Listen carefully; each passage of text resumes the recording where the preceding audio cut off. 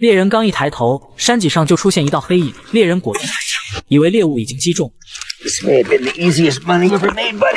但没成想，等他们走近查看时，才发现倒地的竟不是猎物，而是一个年迈的老人。男人彻底崩溃，因为受伤的不是别人，而是他最好的朋友。情况万分紧急，男人急忙拿上车钥匙，立刻要将老人送往医院。可谁也没想到，男人的前脚刚走，站在一旁的老头却萌生出一个邪恶的想法。下一秒，他便果断地捡起地上的另一把猎枪，紧接着一发致命的子弹就朝老人打了上去。听到传来的枪声，刚跑到山下的男人瞬间意识到不对，于是他急忙折返查看。What's going on? And the situation's uh, more complicated than you think.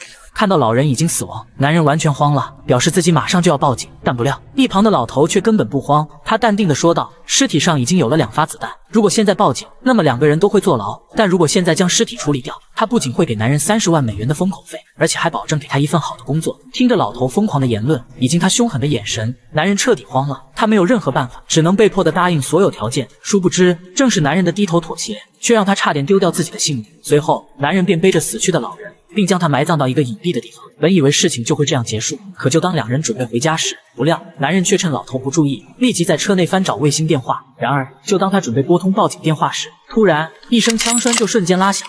Step away from the car. Get away from the goddamn car! God damn it! What is that? Drop it. Drop it!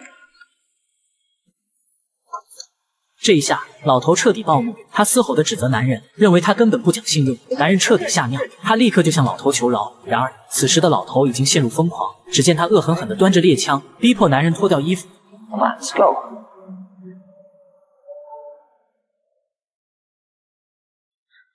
紧接着，老头便逼迫对方向前逃跑。没办法，男人只得赤裸身体，在这片沙漠缓缓走去，而一场猎杀的游戏也就此拉开帷幕。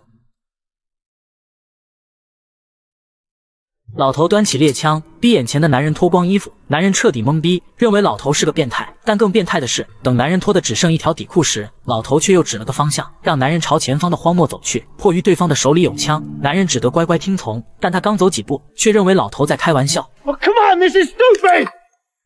情况万般危险，男人再也不敢反抗。同时，他也明白到，老头竟是想让炎热的太阳将他活活晒死。就这样，随着沙漠气温的不断升高，男人意识已经模糊，似乎死亡也在慢慢逼近。然而奇怪的是，就当男人来到一处电线杆时，刚才还奄奄一息的他，却突然疯狂地朝另一边跑去。老头有些诧异，不过他并没过多在意，认为男人一定是烧糊涂了。可下一秒，只见男人纵身一跃，一下就跳到了一处地沟里面。看着男人已经消失，老头瞬间意识到不对，他急忙发动汽车，并朝男人的方向迅速追赶。而与此同时，凭借对地形的了解，男人也成功找到一处暗洞。他手忙脚乱地拨开杂草，接着便快速钻了进去。随后，男人又立即踢断木桩，将洞口彻底封住。就这样，等老头开车赶来后，他便耐心地躲在洞口，准备等男人出来一击必杀。然而老头却不知道，地洞的里面竟然是一条长长的隧道。男人艰难地向前爬行，很快他就钻出地洞，来到了一处隐蔽的房间。男人不敢丝毫停歇，他立刻找到一双破旧的鞋子，接着便忍着脚上的剧痛，用力地穿了上去。更幸运的是，男人还在墙上发现了一张破旧的地图，看来逃跑已经有了希望。但没成想，另一边的老头通过望远镜的观察，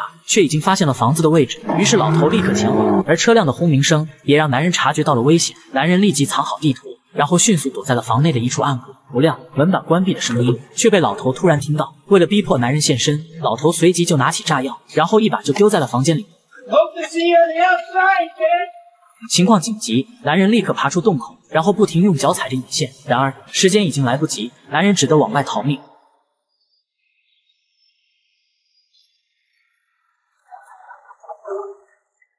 伴随一声巨响，整个房子都被炸毁。但好在男人有惊无险的活了下来。可不等高兴，老头却又拿枪威胁，让他再次脱掉衣服、鞋子，继续在沙漠里面行走。没办法，遇到如此的变态，男人只得照做。本以为他已经难逃此劫，但很快，男人就通过刚才的地图来到了一处标记地点。他急忙进行翻找，果然地下竟然有个盒子。男人兴奋地打开，但没成想，盒子里面却只是一些弹珠和一把破旧的弹弓。男人有些无奈，殊不知正是这些看似没用的东西，却在不久后成功的救下自己。随后，男人又仔细查看地图，发现就在前面，竟还有一个标记地点。他赶紧跑去寻找，没成想，老天终于眷顾男人，竟然是一个珍藏多年的水桶。看着珍贵的水源，男人激动的快要落泪，他不敢停歇，立刻就拎着水桶躲在一处石头下面。然而崩溃的是，男人刚举起水桶喝了没几口，突然一发子弹就瞬间袭来。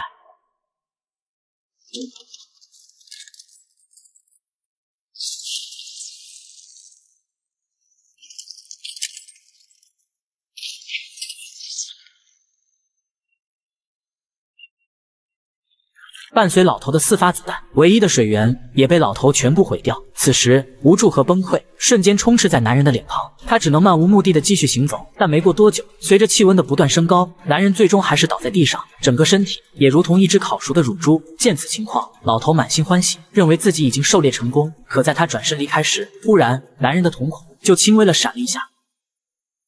在沙漠，你可以不用穿衣服，但一定要学会装死。这个男人躺在地下一动不动，可不远处的一个老头却突然举起了猎枪。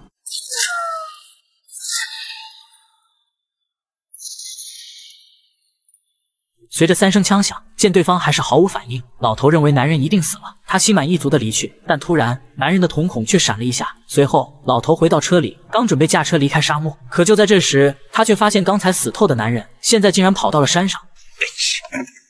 God damn you! Why'd you just die? 老头彻底暴怒，他端起猎枪，接着就瞄准男人。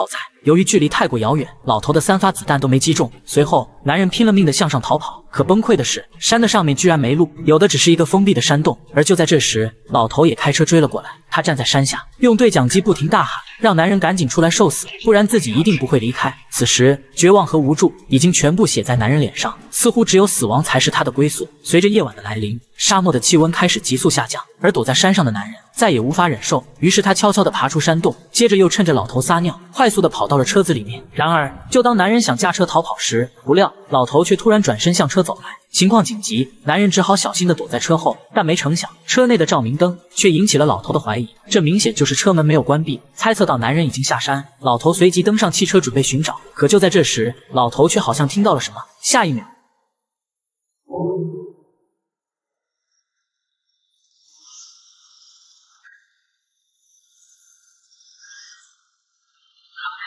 就这样，男人被再次发现，而老头也快速挂上前挡，咬牙切齿的就朝前面撞去。危急时刻，男人爆发洪荒之力，以迅雷不及掩耳之势就躲在了一块石头背后。看见如此的一幕，老头彻底疯狂。只见他变态的大笑着，接着便拿出雷管，朝男人的方向不断扔去。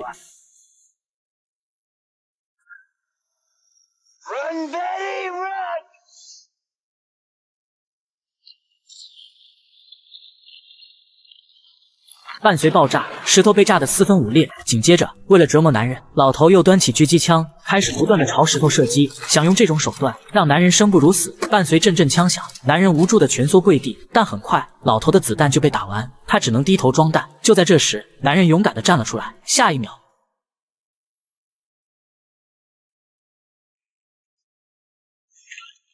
随着一发弹珠发射，这个变态老头终于被成功反杀。电影的最后，男人也将这个老头成功送到了当地警局。